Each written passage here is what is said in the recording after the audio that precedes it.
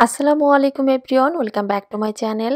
আজকের পর্বে আপনাদেরকে তৈরি করে দেখাবো সব সময় ঘরে থাকে এরকম সাধারণ কিছু উপকরণ দিয়ে দারুণ মজাদার এবং স্বাস্থ্যকর একটি স্যুপের রেসিপি অর্থাৎ তৈরি করে দেখাবো ডিমের স্যুপ। এই স্যুপটা আসলে তৈরি করা হয় খুবই সাধারণ কিছু উপকরণ দিয়ে এবং খেতে কিন্তু অনেক মজাদার হয়ে থাকে এবং এটা কিন্তু স্বাস্থ্যকরও বটে। তাছাড়া শীতের বিকেলে এই ধরনের এক কাপ গরম স্যুপ খেলে কিন্তু মন্দ হয় না। তো আশা করছি আজকের রেসিপিটি সবার কাছে ভালো লাগবে।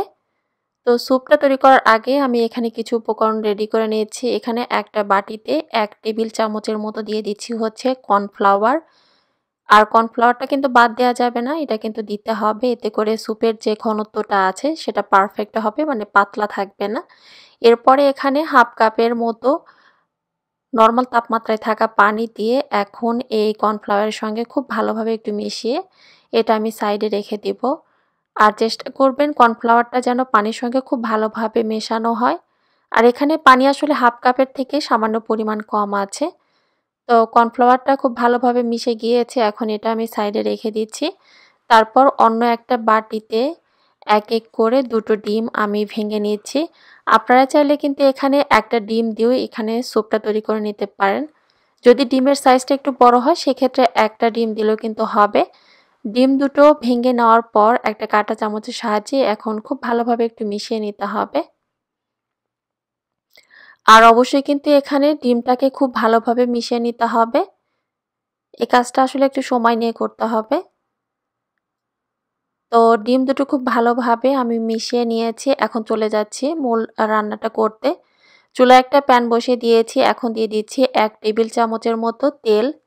তেলের পরিবর্তে আপনি চাইলে কিন্তু এখানে বাটারও দিতে পারেন। তারপরে এখানে এক চা চামচের মতো রসুন কুচি আমি দিয়ে দিলাম। রসুন কুচিটা দিয়ে দেওয়ার পর একটু হালকাভাবে ভেজে নিতে হবে। তো রসুনটা হালকাভাবে ভেজে নেওয়ার পর এখন দিয়ে দিচ্ছি হচ্ছে টমেটো কুচি। আর টমেটো এখানে একটা টমেটো আমি দিইনি, একটা টমেটোর অর্ধেকটা আমি কুচি করে কেটে নিয়েছি। তো সেই টমেটো কুচিটা আমি দিয়ে দিলাম। টমেটো কুচিটা দিয়ে দেওয়ার পর তিন থেকে চার মিনিটের মতো সময় নিয়ে এটাকে একটু সেদ্ধ না হওয়া পর্যন্ত একটু ভেজে নিতে হবে। তো টমেটোটা কিছুক্ষণ ভেজে নেওয়ার পর দেখবেন যে এটা আপনা, আপনি খুব ভালোভাবে সেদ্ধ হয়ে যাবে। তো সেই পর্যায়ে একটা স্প্যাচুলা দিয়ে এটাকে একটু ভেঙে দিতে হবে। মানে যেহেতু নরম হয়ে গিয়েছে। তারপরে এখন দিয়ে দিচ্ছি হচ্ছে আড়াই কাপ নর্মাল তাপমাত্রায় থাকা পানি। মানে পানি এখানে দিয়ে দিচ্ছে, ঠান্ডা পানি দিলেও হবে। তো পানিটা দিয়ে দেওয়ার পর এখন চুলার আঁচটা সর্বোচ্চ হাইয়ে রেখে পাঁচ থেকে ছ মিনিটের মতো এটাকে আমি একটু ভালোভাবে ফুটিয়ে নিব। তো এই পর্যায়ে দিয়ে দিচ্ছি হচ্ছে এক টেবিল চামচের মতো টমেটো সস, তারপরে দিয়ে দিচ্ছি এক চা চামচ সয়া সস। সয়া সসটা আসলে এখানে যদি ডার্ক সয়া সস হয়, সেক্ষেত্রে হাফ চা চামচ দিবেন, আর লাইট সয়া সস হলে সেক্ষেত্রে এক চা চামচ দিলে কিন্তু হয়ে যাবে। তো একটু সময় নিয়ে এখানে চুলার আঁচটা সর্বোচ্চ হাইয়ে রেখে ভালোভাবে এগুলোকে আমি একটু ফুটিয়ে নিচ্ছি। তো সয়া সসটা দিয়ে দেওয়ার পর আমি এখানে স্বাদ মতো কিছুটা লবণ দিয়ে দিয়েছি।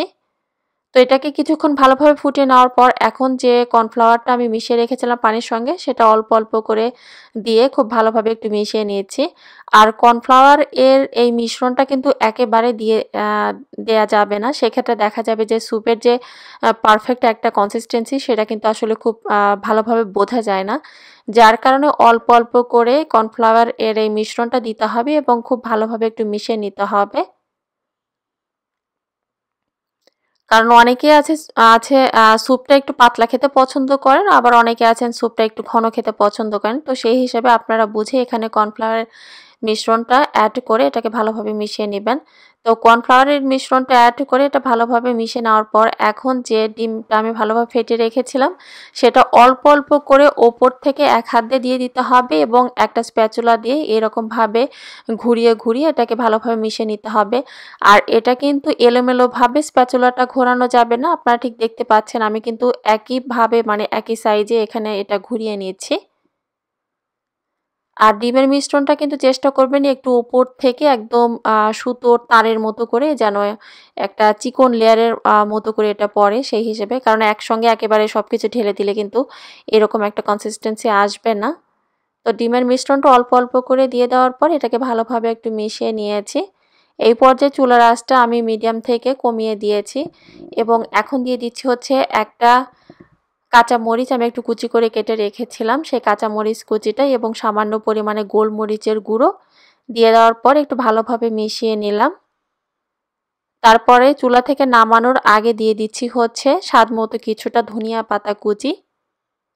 আপনারা চাইলে কিন্তু এখানে বিভিন্ন ধরনের স্যুপের যে স্টকগুলো কিনতে পাওয়া যায় সেটাও কিন্তু দিতে পারেন। কিন্তু আমি যেহেতু বলেছি ঘরে থাকে সব সময় এমন কিছু উপকরণ দিয়ে স্যুপটা তৈরি করব। আর লবণটা কিন্তু অবশ্যই আপনারা আপনাদের স্বাদ অনুযায়ী এখানে অ্যাডজাস্ট করে নিতে ভুলবেন না। তো স্যুপটা আমার তৈরি হয়ে যাওয়ার পর এটা আমি চুলা থেকে নামিয়ে নিয়েছি এবং আপনাদের বোঝার সুবিধার্থে একটু দেখে দিলাম এর কনসিস্টেন্সিটা কেমন রেখেছি মানে কতটুকু পাতলা বা ঘন করে এটা তৈরি করে নিয়েছি।